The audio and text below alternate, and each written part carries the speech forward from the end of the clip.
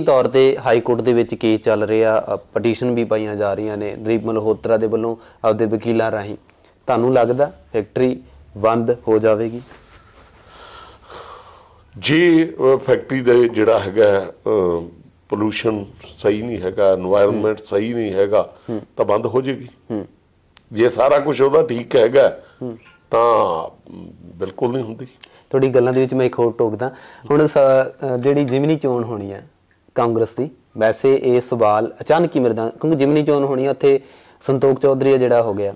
ਕਿਤੇ ਮੁੱਖ ਮੰਤਰੀ ਭਗਵੰਤ ਮਾਨ ਉਸ ਨੂੰ VOTING ਦੇ ਤੌਰ ਤੇ ਕਿਤੇ ਪਹਿਲਾਂ ਹੀ ਕੇਸ ਦੇ ਹੁਕਮ ਦੇਤੇ ਤੇ ਹਾਲਾਂਕਿ ਜਿਹੜੀ ਹਾਈ ਕੋਰਟ ਵਿੱਚ ਜਿਹੜਾ ਚੱਲ ਰਹੇ ਨੇ ਉਸ ਨੂੰ ਢਿੱਲਾ ਕਰਦੇ ਨੇ ਬਾਅਦ ਵਿੱਚ ਉਹ ਚੋਣਾਂ ਤੋਂ ਬਾਅਦ।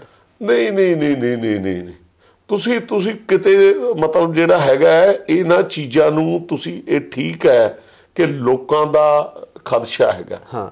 ਦੇਖੋ ਆਪਾਂ ਦੋ ਚੀਜ਼ਾਂ ਨੂੰ ਆਪਾਂ ਜੋੜੀ ਜਾਂਦੇ ਆ ਇੱਕ ਪੋਲਿਟਿਕਸ ਨੂੰ ਇੱਕ ਮਤਲਬ ਲੋਕਾਂ ਦੇ ਰੋਜ਼ਗਾਰ ਔਰ ਸਰਕਾਰ ਦੇ ਅਫਸਰਾਂ ਦੀਆਂ ਜਿਹੜੀਆਂ ਹੈਗੀਆਂ ਹੁਰਮਤੀਆਂ ਔਰ ਲੁੱਟਾਂ ਖਸੋਟਾ ਦੋਏ ਚੀਜ਼ਾਂ ਨੂੰ। ਮੈਂ ਕਹਿੰਦਾ ਵੀ ਸ਼ਰਾਬ ਦੀ ਫੈਕਟਰੀ ਬੰਦ ਹੋਣ ਦੇ ਨਾਲ ਠੀਕ ਹੈ ਨਹੀਂ? ਜੀਰਾ ਜਿਹੜਾ ਹੈਗਾ ਰੋਪੜ ਦੇ ਸੌਰੀ ਫਿਰੋਜ਼ਪੁਰ ਦੇ ਨੇੜੇ। ਫਿਰੋਜ਼ਪੁਰ ਦੇ ਹਾਂਜੀ।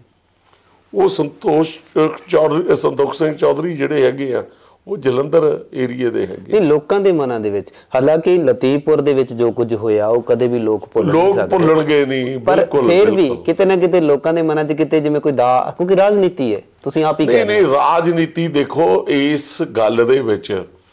ਅੱਜ ਮੈਂ ਕੁਝ ਕਹਿਣਾ ਨਹੀਂ ਚਾਹੁੰਦਾ ਫਿਰ ਮੇਰੇ ਗੱਲ ਪੈਂਦੇ ਫਿਰਨਗੇ। ਜੀ। ਬਹੁਤ ਸਾਰੀਆਂ ਗੱਲਾਂ ਜਿਹੜੀਆਂ ਹੈਗੀਆਂ ਮੈਨੂੰ ਲੱਗਦਾ ਹੈ ਕਿ ਬਹੁਤ ਕੁਝ ਪੰਜਾਬ ਦੇ ਵਿੱਚ ਠੀਕ ਨਹੀਂ ਹੋ ਰਿਹਾ। ਚਲੋ, ਉਹ ਮੁੱਦੇ ਦੀ ਜਿਸ ਗੱਲ। ਹਿਸਾਬ ਦੇ ਨਾਲ ਪੰਜਾਬ ਦੇ ਵਿੱਚ ਇੱਕ ਪਾਸੇ ਇਹ ਕੁੱਕੀ ਜਾਂਦੇ ਆ ਕਿ ਪੰਜਾਬ ਦੇ ਲੋਕ ਬਾਹਰ ਨੂੰ ਜਾ ਰਹੇ ਆ। ਪੰਜਾਬ ਦੇ ਯੂਥ ਬਾਹਰ ਨੂੰ ਜਾ ਰਹੇ ਕਰਨ ਕੀ? ਇੱਕ ਫੈਕਟਰੀ ਆ ਉਹ ਵੀ ਬੰਦ ਕਰਵਾਤੀ। ਹੁਣ ਦੂਈ ਦਾ ਲਾਲਣ ਧਰਨਾ ਉਹ ਵੀ ਬੰਦ ਕਰਵਾ ਦਿਓ। ਜਦ ਤੁਸੀਂ ਰੋਜ਼ਗਾਰ ਜਿਹੜਾ ਹੈਗਾ ਪੰਜਾਬ ਦੇ ਵਿੱਚ ਦੇਣਾ ਨਹੀਂ ਬੰਦ ਕਰੀ ਜਾਣਾ ਖਤਮ ਕਰੀ ਜਾਣਾ ਹੈਗਾ।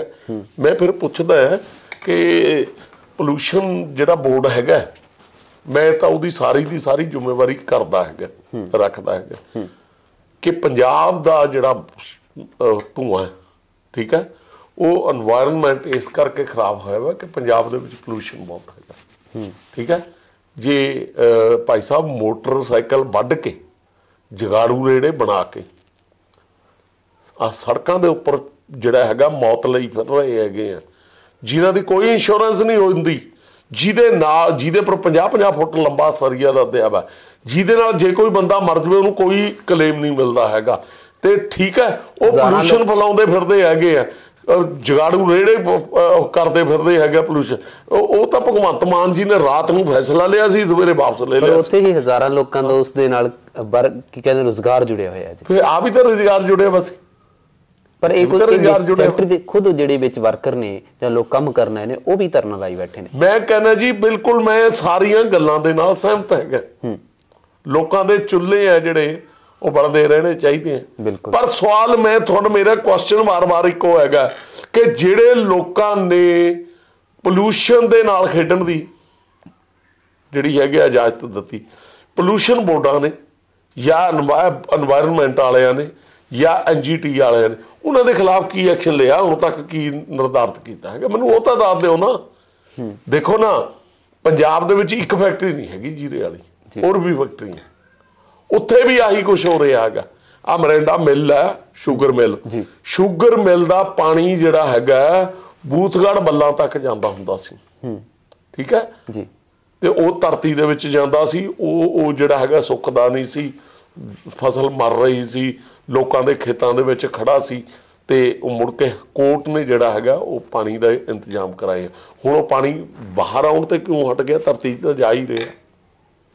ਇਸ ਤੋਂ ਇਲਾਵਾ ਜਿੰਨਾ ਜਿਹੜੀਆਂ ਸ਼ੂਗਰ ਮਿਲਾਂ ਹੈਗੀਆਂ ਉਹਨਾਂ ਦਾ ਸੀਰਾ ਕਿੱਥੇ ਜਾ ਰਿਹਾ ਹੈਗਾ? ਤੁਸੀਂ ਭਾਈ ਸਾਹਿਬ ਮੈਂ ਮੈਂ ਤੁਹਾਨੂੰ ਇੱਕ ਗੱਲ ਦੱਸਾਂ।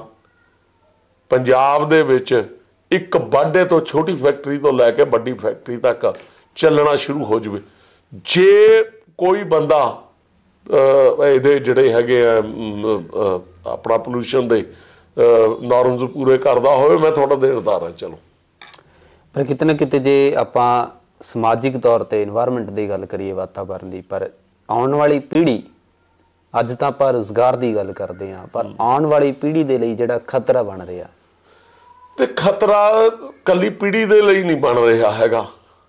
ਇਹਨਾਂ ਦੇ ਫੈਸਲੇ ਆ ਨਾ ਜਿਹੜੇ, ਉਹ ਕੇਵਲ ਔਰ ਕੇਵਲ ਕੈਪੀਟਲਿਸਟ ਫੈਸਲੇ ਹੈਗੇ ਆ। ਪਿਛਲੇ ਦਿਨਾਂ ਦੇ ਵਿੱਚ ਇੱਕ ਟਰਾਂਸਪੋਰਟ ਪਾਲਿਸੀ ਨੂੰ ਲੈ ਕੇ ਜਿਹੜਾ ਹੈਗਾ ਫੈਸਲਾ ਲਿਆ ਗਿਆ। ਉਹਦੇ ਵਿੱਚ ਕੀ ਕੀਤਾ ਗਿਆ ਕਿ 10 ਸਾਲ ਤੋਂ ਬਾਅਦ ਜਿਹੜੀ ਹੈਗੀ ਆ ਗੱਡੀ ਨਹੀਂ ਚੱਲ ਸਕਦੀ। 8 ਸਾਲ ਜਿਹੜੀ ਹੈਗੀ ਕਮਰਸ਼ੀਅਲ ਗੱਡੀ ਚੱਲ ਸਕਦੀ ਹੈ 15 ਸਾਲ ਪੈਟਰੋਲ ਵਾਲੀ ਗੱਡੀ ਚੱਲ ਰਹੀ ਹੈ ਚੱਲ ਸਕਦੀ ਹੈ ਉਸ ਤੋਂ ਬਾਅਦ ਜਿਹੜੀ ਹੈਗੀ ਆ, ਉਹ ਗੱਡੀਆਂ ਤੁਹਾਨੂੰ ਵੇਚਣ ਵਾਸਤੇ ਤੁਸੀਂ ਕੁਆੜੀਆਂ ਨਹੀਂ ਵੇਚੋਗੇ। ਤੁਸੀਂ ਉਹ ਕੰਪਨੀਆਂ ਹੀ ਤੁਹਾਡੇ ਤੋਂ ਖਰੀਦਣਗੀਆਂ ਹੁਣ ਮੰਨ ਲਓ ਮੈਂ ਇਸ ਤੇ ਕੁਐਸਚਨ ਕਰਦਾ। ਮੈਨੂੰ ਮੇਰੇ ਕੋਲ ਆ ਨੋਵਾ ਕਾਰ ਹੈ। ਜੀ। ਇਸ ਦੀ ਕੰਪਨੀ ਕਹਿੰਦੀ ਹੈ ਕਿ ਇਹਦੀ 5 ਲੱਖ ਕਿਲੋਮੀਟਰ ਦੀ ਗਾਰੰਟੀ ਹੈ।